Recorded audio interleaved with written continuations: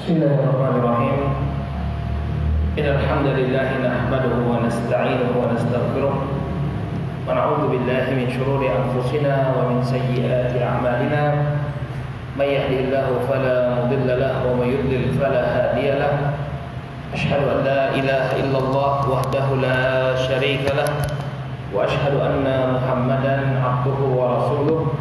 صلى الله عليه وعلى آله وصحبه ومن اتبع هداه إلى يوم الدين أما بعد belum muncul tadi udah muncul baik sebentar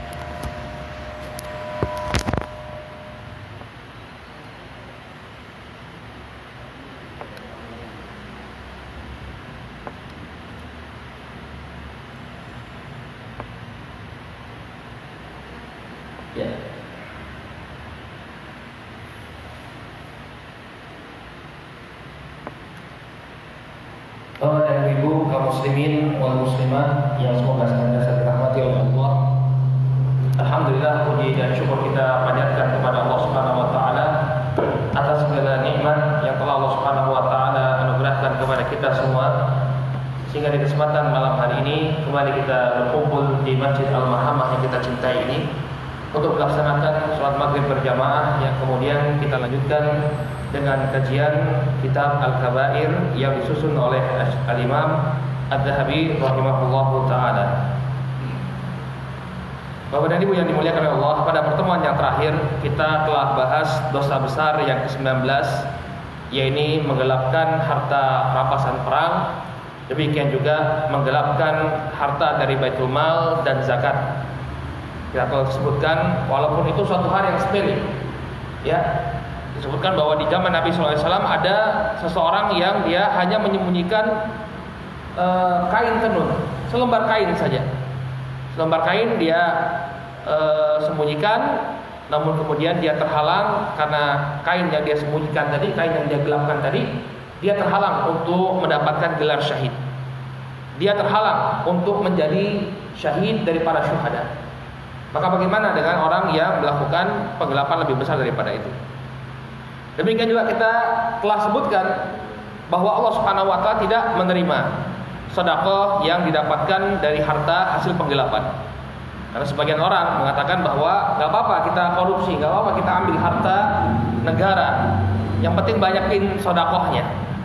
Maka telah kita sebutkan Allah Subhanahu wa taala innallaha thayyibun la yaqbalu illa thayyiban. Sesungguhnya Allah Subhanahu wa taala itu maha baik dan tidak akan menerima kecuali yang baik-baik saja. Jadi Allah Subhanahu wa taala tidak akan menerima kecuali harta yang baik-baik saja.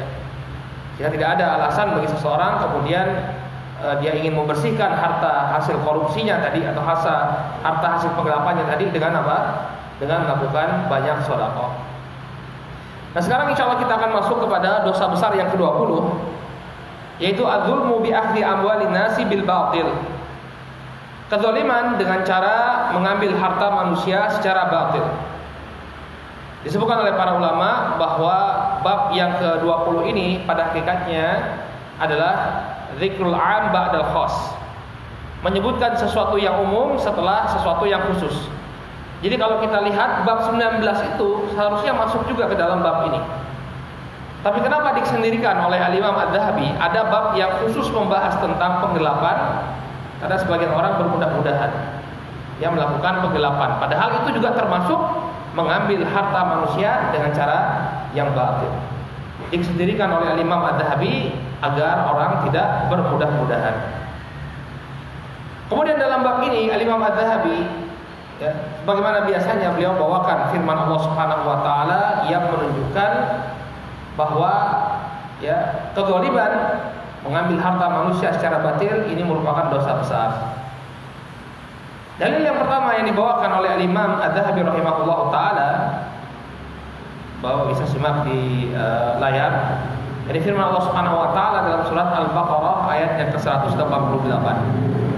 Kata Allah Subhanahu wa taala, "Wa la ta'kulu amwalakum bainakum bil batil wa tudlu biha ilal hukam." Kata Allah Subhanahu wa taala, janganlah kalian memakan harta sebagian yang lain di antara kalian dengan cara yang batil.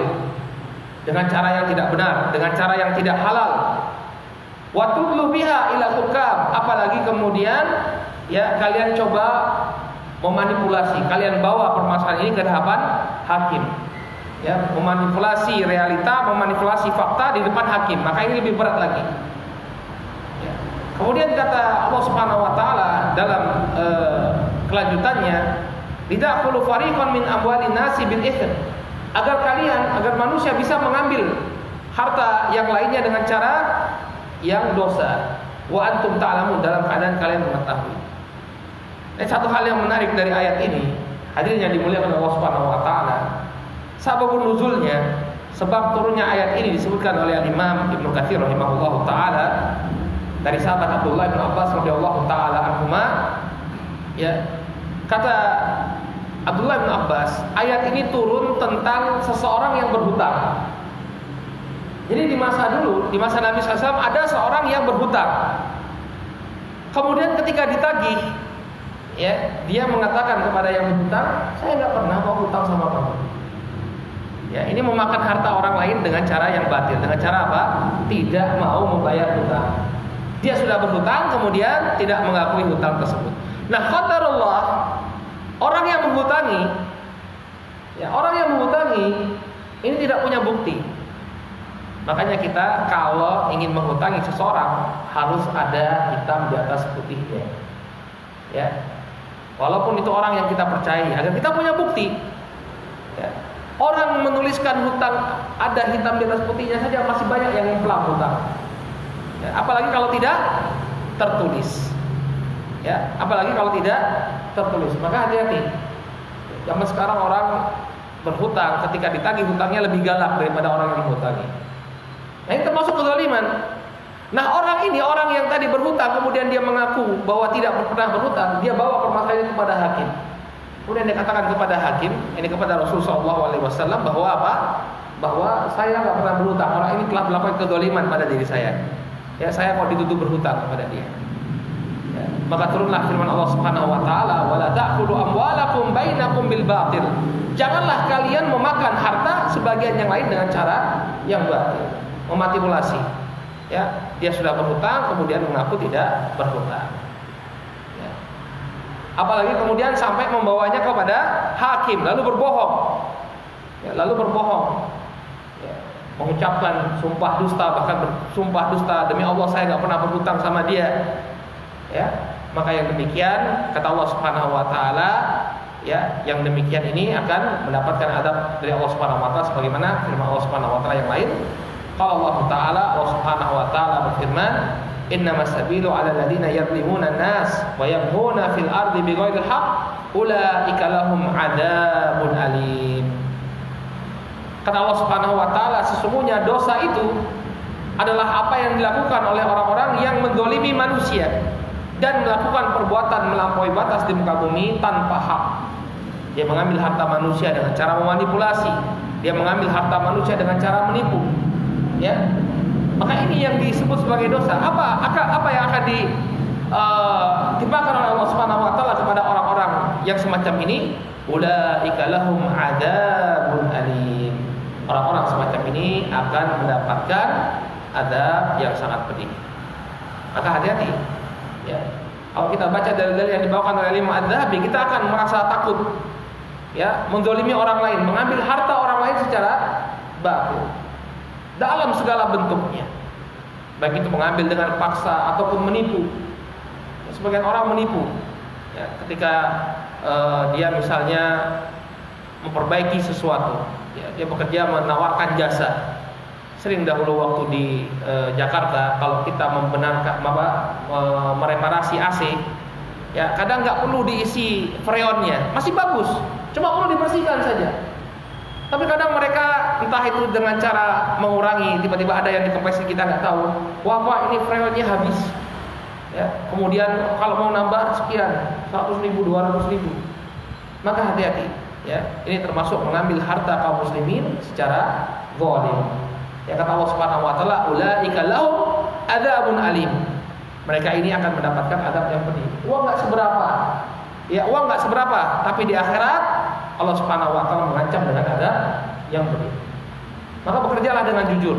Kalau memang tidak rusak, jangan katakan rusak. Ya. Uang nggak seberapa, tapi harta nggak barokah, nanti dimakan oleh keluarga kita, di akhirat mendapatkan adab yang pedih, berlipat ganda dosanya. Ya. Ini adalah ancaman bagi orang-orang yang memakan harta manusia secara zalim. Kemudian kata Allah Subhanahu wa taala, "Wa zalimuna ma lahum min waliyyin wala nasir." Dalam surat Asy-Syura ayat yang ke-8 Allah Subhanahu wa taala menegaskan dan orang-orang yang melakukan kezaliman tidak ada bagi mereka seorang pelindung pun dan tidak ada yang bisa memberikan pertolongan kepada mereka. Ini ancaman yang sangat tegas. Ya, nggak ada yang bisa menolong kita. Ya, ketika orang yang didolimi itu tidak ridho dengan kedoliman yang kita lakukan, maka pastilah adab Allah itu akan menimpa kita. Nggak ada satupun orang yang bisa memberikan pertolongan. Nggak ada yang bisa melindungi kita dari adab Allah Subhanahu wa taala. Allah itu Maha Adil. Allah itu Maha Adil. Maka kita jangan khawatir kalau ada orang yang melakukan kedoliman kepada diri kita dan kita nggak bisa mengambil hak kita dari dia, ya maka pasti nanti di akhirat akan Allah Subhanahu Wa Taala hukumi dengan penuh keadilan. Hak kita itu akan kembali, ya kembali dalam bentuk apa? Kembali dalam bentuk ya dosa-dosa kita yang akan ditanggung oleh orang tersebut atau pahalanya yang akan diambil diberikan kepada kita. Karena nanti di akhirat tidak ada lagi alat pembayaran. Rupiah tidak berlaku, dolar tidak berlaku, dinar dan dirham tidak berlaku. Apa yang akan menjadi alat tukar transaksi nanti di akhirat? Pahala dan dosa. Sehingga orang-orang yang melakukan kezaliman, dia akan memberikan pahalanya kepada orang-orang yang dia zalimi. Kalau dia sudah tidak punya lagi pahala, maka dia harus menanggung dosa orang yang pernah dia zalimi. Jadi jangan khawatir Bapak-bapak. Kalau ada orang yang mendolimi kita, hukum Allah itu adil. Di akhirat nanti kita pasti akan mendapatkan apa yang menjadi hak kita.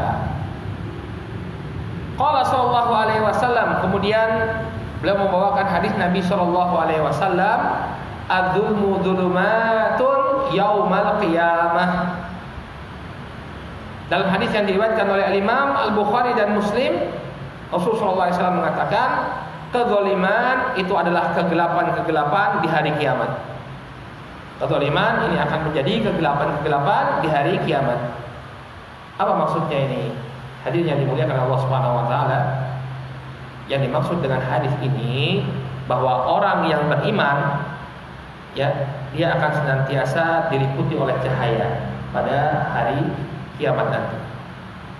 Sehingga dia tidak akan merasa kegelapan, dia bisa berjalan dituntun oleh cahaya tadi.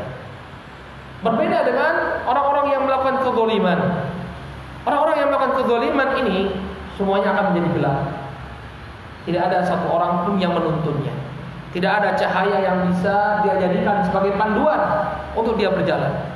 Dia akan terantuk, dia akan menabrak karena tidak ada cahaya. Ya, sebagaimana orang yang buta. Sebagaimana orang yang buta. Nggak tahu harus berjalan ke mana. Semuanya gelap. Maka ini adalah adab Allah Subhanahu wa taala karena dia telah melakukan kegelapan, kezaliman ya di dunianya maka al jazaa'u min jinsil amal. Karena kezaliman itu artinya kegelapan. Ya, secara bahasa kezaliman itu artinya kegelapan. Karena dia telah melakukan kezaliman di dunia, maka di akhirat nanti Allah balas. Apa balasannya? Allah akan buat dia senantiasa diliputi kegelapan, tidak tahu ke mana dia harus berjalan. Dan ini merupakan siksaan bagi Allah uh, bagi orang-orang yang melakukan kezaliman kepada hamba-hamba Allah Subhanahu wa taala. Kemudian di sini beliau menyebutkan sebuah contoh kezaliman yang mungkin terjadi di tengah-tengah masyarakat, sering terjadi di tengah-tengah masyarakat. Dalam sebuah hadis yang diriwayatkan oleh Al Imam Al Bukhari dan Muslim dari sahabat Aisyah radhiyallahu taala anha Nabi alaihi salatu wasalam bersabda, "Man zalama shibran minal ard" Barang siapa yang melakukan kezaliman ya dalam bentuk satu jengkal tanah. Dalam riwayat yang lain disebutkan man akhadha shibran minal ard. Barang siapa yang mengambil tanah ya sejengkal saja tawaqahu ila sab'i aradin yaumal qiyamah maka Allah Subhanahu wa taala akan siksa dia dengan cara apa Allah gantungkan tujuh lapis bumi pada lehernya di hari kiamat nanti. Ya. Ini ancaman yang sangat berat. Ya. Barang siapa yang mengambil sejengkal tanah saja, misalnya hak tanah dia sampai di sini, kemudian dia melakukan kezaliman, dia perpanjang patok tanahnya, dia geser patok tanahnya, ya, misalnya untuk mendapatkan ruang yang lebih luas, ya, atau tempat untuk pagarnya, karena kalau pakai tanahnya nanti untuk pagar, ya habis tanahnya, dia perpanjang tanahnya. Ya, kita pernah melihat ya mungkin uh, hadirin pernah melihat bahwa pernah melihat ya ada sempat viral gambar orang parkir mobil. Ya, orang parkir mobil, kemudian mobilnya itu lebih panjang daripada tanahnya. Akhirnya apa yang dia buat? Ya, dia buat pagar tapi pagarnya menjorok ke jalan, ngambil sekitar setengah meter. Ya. Nah ini bukan hak Anda, ini hak umum. Ya. Kenapa dipagari? Kalau misalnya dia sekedar parkir saja, kadang-kadang dia parkir kemudian dia masukkan ya jadi masalah. Tapi dia buat permanen. Sehingga mau nggak mau orang kalau mau lewat jalan umum harus minggir dulu. Ini hati-hati ini termasuk kedoliman. Apa yang merupakan hak umum, ya ini tidak boleh diambil. Ya. Hak orang banyak. Maka hati-hati ini suatu kedoliman. Apalagi kemudian dia sampai ya e, mengubah batas tanah, kotak tanah. Ini bukan tanah dia, tapi dia ubah patok tanahnya. Ya. Nanti di akhirat Allah Subhanahu wa taala akan hukum dengan digalungkan tujuh lapis bumi ya di lehernya. Bahkan orang-orang yang semacam ini terlaknat. Terlaknat. Walaupun hanya sejengkal tanah saja yang dia geser. Walaupun hanya sejengkal tanah saja, patok tanah yang dia geser, dia terlaknat. Dalam riwayat yang lain dari sahabat Ali bin Abi Thalib radhiyallahu taala anhu, Rasul Shallallahu Alaihi Wasallam bersabda, "La'anallah man ghayyara manaral ardi." Allah melaknat orang yang mengubah patok tanah.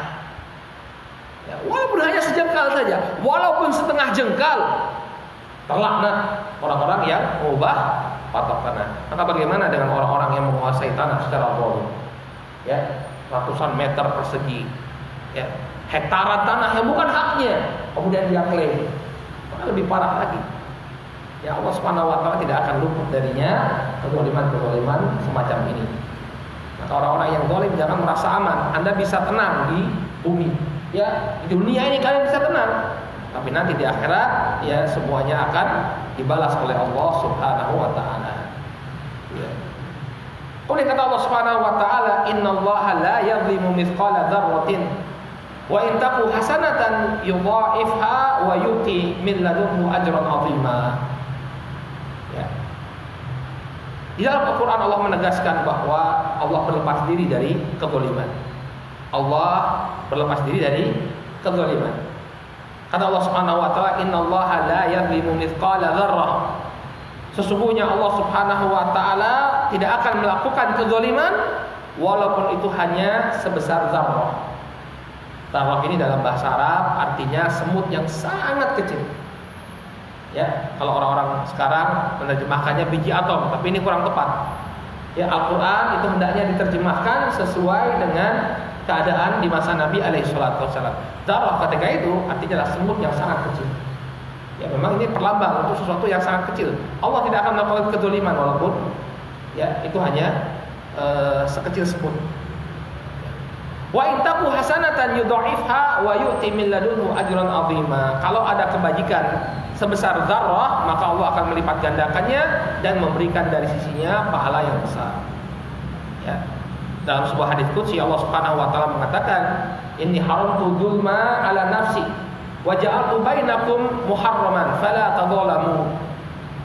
Dalam sebuah hadis qudsi Allah Subhanahu wa taala mengatakan, "Sesungguhnya aku mengharamkan kezaliman atas diriku dan aku jadikan kedoliman itu haram atas kalian. Fala tadzalamu. Maka janganlah kalian saling mendolimi. Jangan kalian saling mendolimi. Allah Subhanahu wa taala mengharamkan kedoliman pada dirinya dan Allah juga mengharamkan kedoliman pada manusia.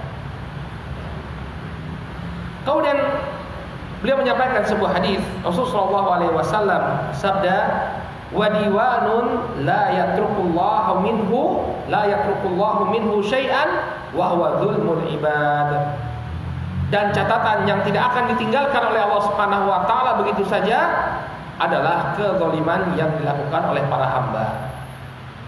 Ini adalah petikan sebuah hadis yang cukup panjang, hadis diriwayatkan oleh Imam Ahmad ya dari Aisyah radhiyallahu taala anha di mana Rasul Shallallahu alaihi wasallam membagi kezaliman itu menjadi tiga. Ya, hadis lengkapnya sebagaimana yang di layar dari Aisyah radhiyallahu taala anha qalat qala Rasul sallallahu alaihi wasallam Rasul sallallahu alaihi wasallam bersabda Ad-dawawinu indallahi azza wa jalla thalathatun catatan-catatan yang ada di sisi Allah Subhanahu wa taala itu ada tiga. Diwanun la ya'ballah la ya'ballahu bihi syai'an. Yang pertama adalah catatan yang Allah Subhanahu wa taala tidak peduli sama sekali. Wa diwanun la yatrukullahu minhu syai'an. Kemudian catatan yang tidak akan ditinggalkan oleh Allah sedikit pun. Wa diwanun la yaghfirullah dan catatan yang tidak akan diampuni oleh Allah. Jadi ada tiga catatan di sisi Allah Subhanahu wa taala di hari kiamat nanti yang pertama adalah catatan yang tidak dipedulikan oleh Allah, artinya tidak diperhitungkan oleh Allah. Kemudian yang kedua catatan yang tidak akan ditinggalkan oleh Allah. Artinya menjadi perhatiannya Allah Subhanahu wa taala akan dibalas oleh Allah. Dan yang ketiga catatan yang tidak akan diampuni oleh Allah sama sekali. Qala fa amma diwanul ladzi la yaghfiruhu Allah fasyirku billah maka catatan yang tidak akan diampuni oleh Allah Subhanahu wa taala itu adalah syirik kepada Allah. Ya. Ini kalau ada di catatan amalan kita melakukan kesyirikan, ini pasti akan diadab oleh Allah. Kalau kita tidak meminta atau tidak bertobat dari perbuatan tersebut. Ya, kalau ada dalam catatan amalan kita berbuat syirik, ya, kalau kita tidak bertobat, Allah pasti akan menghukum kita. Kalau itu syirik akbar, maka tiada ampun lagi. Kalau Allah Ta'ala innahu man yusyrik billah faqad haramallahu alaihi jannah. Sungguh Allah Subhanahu wa taala telah mengatakan barang siapa yang melakukan syirik kepada Allah Subhanahu wa taala, Allah akan haramkan baginya surga. Nauzubillah. Ini hukuman bagi orang yang di dalam catatan amalannya terdapat syirik akbar dia melakukan syirik akbar, menyembelih untuk selain Allah, ya, menyembelih untuk selain Allah, beribadah kepada selain Allah, berdoa kepada selain Allah, maka Allah tidak akan ampuni. Allah akan haramkan surga itu bagi orang tersebut. Ini catatan yang pertama. Catatan kesyirikan tidak akan diampuni oleh Allah. Wa amma diwanul ladzi la ya'ba'u Allah bihi syai'an fadhulmul 'abdi nafsah fima bainahu wa baina rabbih min saumi yaumin wa tarakahu aw salatin tarakaha fa inna Allah azza wa jal yaghfiru dzalik. Ya. Kemudian catatan amal yang kedua adalah catatan yang Allah tidak peduli. Karena itu merupakan kezaliman seorang hamba terhadap dirinya. Kezaliman yang terjadi antara dia dengan Allah Subhanahu wa taala. Seperti dia meninggalkan puasa, ya. Kemudian dia meninggalkan sholat, ya. Terkadang saja bukan meninggalkan sholat secara keseluruhan. Terkadang mungkin dia lalai sholat atau dia lupa sholat. Ya maka ini antara dia dengan Allah Subhanahu Wa Taala. Kalau Allah ingin mengampuni maka akan diampuni dosa-dosanya. Catatan amal catatan dosanya tadi akan dihapuskan oleh Allah Subhanahu Wa Taala ya wa yatajawazu insya dan Allah Subhanahu wa taala akan melepaskannya apabila Allah menginginkan. Kembali kepada kehendak Allah. Kalau Allah menghendaki, Allah akan ampuni. Kalau Allah menghendaki, maka dia bisa diadab. Kemudian catatan yang ketiga, wa amma diwanul ladzi la yatrukullahu minhu syai'an fadzulmul ibad ba'dihim ba'dhan. Ya. Adapun catatan yang uh, tidak akan ditinggalkan oleh Allah, pasti akan dieksekusi oleh Allah adalah kezaliman seorang hamba ya kepada hamba yang lainnya. Al-qisasu la mahalah pembalasan itu pasti ada ya dan pasti akan dilaksanakan. Jadi hati-hati. Ya, kalau kedoliman yang berupa kesyirikan Allah tidak akan ampuni. Kezaliman yang berupa perbuatan dosa antara kita dengan Allah yang hubungannya antara kita dengan Allah, maka ini tahta masyiatillah. Bisa jadi Allah ampuni, bisa jadi Allah hukum kita. Tapi kezaliman kepada sesama ini tidak akan Allah tinggalkan. Pasti ada pembalasan. Pasti ada pembalasan. Baik. Kemudian beliau menyebutkan bentuk kezaliman. Nah, ini yang tadi kita singgung. Bentuk kezaliman yang sering terjadi di tengah-tengah kita. Qala alaihi salatu wassalam. Nabi Shallallahu Alaihi Wasallam bersabda dalam hadis yang diriwayatkan oleh Imam Al Bukhari dan Muslim, beliau alaihi wasallam mengatakan, ya matlul ghani zulmun. Ya, orang yang mampu, al ghani orang yang mampu, kemudian dia menunda-nunda pembayaran hutangnya, maka dia telah melakukan kezaliman. Ya. Dan ini sangat banyak sekali terjadi di tengah-tengah kita. Ketika dia memerlukan uang, datang manis-manis, tolong saya butuh uang, saya butuh bantuanmu. Ya ada ada berapa, adanya berapa aja, ya nggak apa-apa lah. Ya saya pinjam dulu karena saya sangat membutuhkan. Akhirnya kita kasihan pinjamkan uang. Ya setelah beberapa waktu kapan kamu akan kembalikan? Ya insya Allah satu bulan. Begitu satu bulan nggak bisa ditelepon, WA diblokir, semua medsos diblokir. Ya, tahu-tahu ketika kita lihat pakai akun yang lain, dia sedang liburan di Bali, sedang liburan di mana, sedang belajar, ya pamer ini, pamer itu. Ya, ketika dikatakan, tolong bayar utang saya lagi sedang memerlukan, kita sedang memerlukan. Kamu ini dipinjam segitu aja pelit banget, nantilah saya bayar. Maka yang demikian adalah kezaliman. Matlubani zulmun. Ya. Orang yang sudah mampu untuk membayar hutang tapi tidak dia bayarkan hutangnya, dia tunda-tunda, maka dia telah melakukan kezaliman hati-hati. Terlebih lagi kalau apa yang dilakukan ini menyebabkan orang menjadi apa? Jadi nggak mau menghutangi lagi. Ya, pengalaman saya menghutangi orang seperti itu lalu diambil hutangnya kan dia padahal mampu bayar tapi nggak mengembalikan saya nggak mau lagi hutangi orang gara-gara satu oknum maka hati-hati makmul ghani orang yang sudah mampu membayar hutang tapi tidak mau membayarkan dia telah melakukan kezaliman Qala min akbari zulmi al-yamin al-fajira ala haqqi alaih dan termasuk dosa besar atau kezaliman yang paling besar adalah orang yang sampai bersumpah untuk mendapatkan apa yang bukan haknya. Nah, hati-hati. Kalau itu bukan hak Anda, jangan sampai sumpah-sumpah. Sumpah ini punya saya. Ya, sumpah saya tidak berhutang. Hati-hati. Ini termasuk kedoliman yang paling besar. Kata Nabi alaihi salatu wasallam, "Man haqqam muslim, ya, yaminihi yaminuhu faqad aujaballahu lahun nar." Barang siapa yang ya mengambil harta saudaranya dengan sumpahnya maka Allah Subhanahu wa taala mewajibkan dia untuk masuk ke dalam neraka. Ya, Allah akan perintahkan dia untuk masuk ke dalam neraka. Jadi ya, pakai sumpah-sumpah segala. Ya, sumpah ini bukan ini punya saya. Ya, saya bersumpah ini punya saya. Hati-hati kalau itu bukan punya Anda, ya Anda bersumpah untuk mendapatkannya, maka apa? Allah Subhanahu wa taala akan memasukkan ke dalam neraka. Kila ya Rasulullah wa in kana syai'an yashiran Kemudian ada yang bertanya kepada Nabi SAW, wahai Rasulullah, ya, walaupun itu suatu hal yang uh, sangat sepele, maka Nabi SAW mengatakan, wa inkana qodiban min arok, walau itu hanya sepotong kayu siwak. Yang membawa tahu ada kayu yang dipakai untuk sikat gigi, kayu siwak. Ya, kalau kita biasa, walaupun itu hanya kayu siwak saja yang dia ambil, dengan sumpah kepada Allah Subhanahu wa taala, maka ya dia telah melakukan kezaliman. Allah Subhanahu wa taala akan mewajibkan dia masuk ke dalam neraka. Ya kalau kita lihat dalil-dalil yang berkenaan dengan hak orang lain ini luar biasa ya, banyak sekali. Sehingga seorang muslim itu sangat anti melakukan kezaliman. Tapi banyak orang muslim nggak peduli, nggak takut sama Allah Subhanahu wa taala. Kezaliman padahal dalil-dalil yang menunjukkan kezaliman ya ini akan dibalas oleh Allah Subhanahu wa taala walaupun itu hanya perkara yang sepele.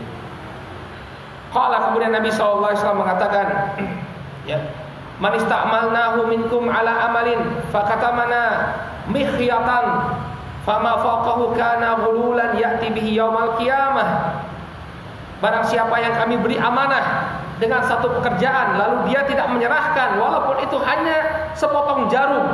Jarum Bapak-bapak. Jarum, satu hal yang sangat sepele. Berapa harga jarum?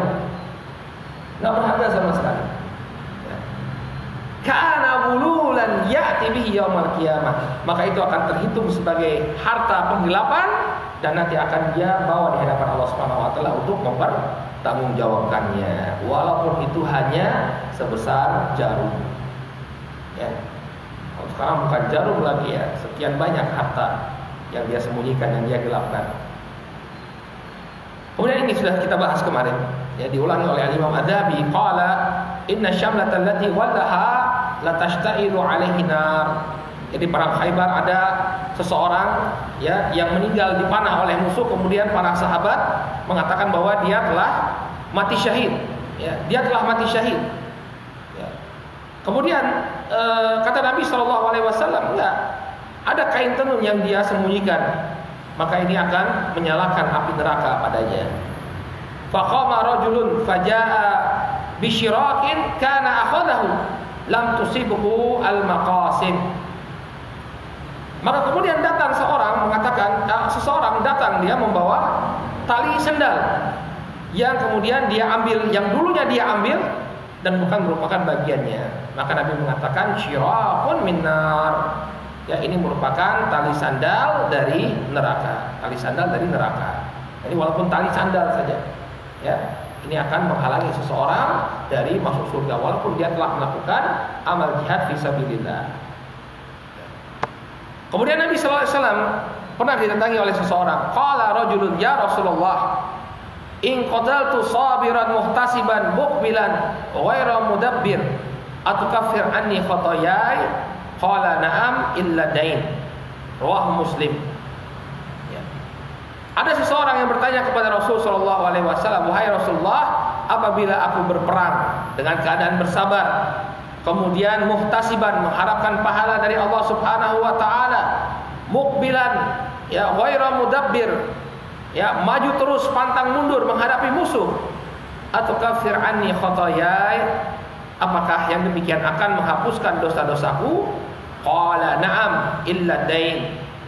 Maka Nabi SAW mengatakan iya kecuali kalau kamu punya hutang punya hutang yang tidak kau bayarkan, maka hutang ini akan menghalangi dirimu dari ya diampuni dosa-dosanya oleh Allah Subhanahu wa taala. Maka hati-hati kaum muslimin, kaum muslimat yang dimuliakan oleh Allah Subhanahu wa taala, ya, hutang yang tidak dibayarkan ini akan menjadi penghalang. Makanya jangan mudah untuk berhutang. Jangan mudah untuk berhutang karena ini akan menghalangi seseorang ya dari berbagai macam keutamaan. Apalagi kalau dia memang sudah mampu untuk membayarkan hutang tersebut, namun kemudian ya dia tidak mau membayarkannya. Baik. Kemudian kata Imam Ad-Dhahabi, qala sallallahu alaihi wasallam. Ya. Beliau menyampaikan sebuah hadis ya, riwayat Imam Bukhari dari Khawlah Al-Ansariyah, "Inna rijalan ya yatakhadaun ya yatakhawaduna fi malillahi bighairi haq falahumun nar yaumal qiyamah. Sesungguhnya orang-orang yang menggunakan harta Allah Subhanahu wa taala dengan cara yang tidak benar, maka bagi mereka neraka pada hari kiamat nanti. Ini hukuman bagi orang-orang yang mempergunakan harta ya harta umat tapi dia pergunakan untuk kepentingannya pribadi tanpa hak. Falahumun nar yaumal qiyamah. Maka dia berhak untuk mendapatkan api neraka pada hari kiamat nanti. Qala wa an Jabir radhiyallahu anhu anna Nabiy sallallahu alaihi wasallam qala li Ka'ab bin Ujrah. Dari sahabat Jabir radhiyallahu taala anhu bahwa Nabi sallallahu alaihi wasallam mengatakan kepada Ka'ab bin Ujrah la yadkhulul jannata lahmun nabata min suhtin an-naru aula bihi sahihun ala syarti syaihain. Dari sahabat Jabir bin Abdullah bahwa Nabi Shallallahu alaihi wasallam mengatakan kepada Ka'ab bin Ujrah, tidak akan masuk ke dalam surga daging yang tumbuh dari barang yang haram. Suhud artinya makanan haram. Makanan yang diambil dari harta yang haram. Ya. Ada dua pengertian yang kata para ulama. Yang pertama, makanannya haram, zatnya memang haram. Dia makan babi, dia minum khamar, lalu dagingnya tumbuh dari perkara-perkara yang diharamkan tadi, maka anar ahak, ya. Neraka itu berhak untuk makan daging yang haram tadi. Dan dia tidak berhak untuk masuk ke dalam surga. Dalam hadis yang lain disebutkan masih dari Ka'ab bin la yarmu lahmu nabatan min suhtin illa kanat an-naru aula bihi. Ya, tidak akan tumbuh eh, tidaklah daging manusia yang tumbuh dari barang yang haram kecuali neraka itu berhak untuk memakannya. Demikian juga dalam hadis yang diriwayatkan dari Abu Bakar, la yadkhulul jannah jasadun ghudhiya biharam. Tidak akan masuk ke dalam surga ya jasad yang tumbuh dari sesuatu yang diharamkan. Ini sama. Tinggal sedikit lagi kita lanjutkan kata Imam Az-Zahabi, wa fi hadzal bab al-makas wa qati'ut tariq. Termasuk memakan harta yang haram adalah tukang palak. Ya, tukang palak, orang yang malakin. Dia nggak berhak untuk ngambil orang, tapi dia memuti. Ya, memalaki orang-orang yang misalnya berjual di pasar, dia palaki. Uang keamanan kata dia. Ini masuk. Waqati utorik para pembegal, wasariku orang yang mencuri, wal baktal orang yang berdusta. Tadi seperti mekanik yang mengatakan, oh ini rusak pak, rusaknya ini, rusaknya ini. Ini nggak akan masuk ke dalam surga, termasuk dia ke dalamnya. Wal khain orang yang berkhianat terhadap amanah. Wazugli, yakni orang para penipu. Manista'ara syai'an fajahadahu. Demikian juga orang yang meminjam sesuatu tapi menolak untuk mengembalikannya. Man tafaqa al-wazna wal kail, man tafafa al-wazna wal kail. Demikian juga orang yang memanipulasi timbangan dan takaran. Wa man iltaqata malan falam ya'rifu, mengambil barang yang tidak diketahui siapa pemiliknya, dia ambil dia masukkan dalam kantongnya. Wa man ba'a syai'an fihi aibun faqattahu. Demikian juga orang yang menjual sesuatu yang ada cacatnya lalu dia tutupi. Wal mukhamir, orang yang berjudi, wa mukhbirul mushtari bizaid orang yang berlebihan dalam memberi penjelasan kepada calon penjual dia lebihkan barang-barang yang dia jual maka ini termasuk mengambil harta orang dengan cara yang batil wallahu taala alam bisawab kita cukupkan dulu sampai di sini insyaallah kita lanjutkan pada pertemuan yang akan datang dengan dosa besar yang ke-21 yaitu mencuri Subhanakallahumma wa bihamdika asyhadu an la ilaha illa anta astaghfiruka wa atubu ilaik. Assalamualaikum warahmatullahi wabarakatuh.